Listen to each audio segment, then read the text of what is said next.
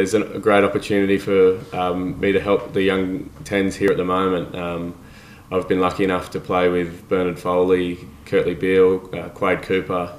So I've learned a lot from some of the uh, world's best five eights and inside backs. So it's a great opportunity for me to get over here, obviously to play good footy myself, but um, with the young five eights here, as I said, Sam, Sammy, Shilly, um, Tommy, to, to be able to give them some messages, help them out as much as possible, and really give them a, a great opportunity to, to, keep pushing their rugby forward is something that I'm looking forward to.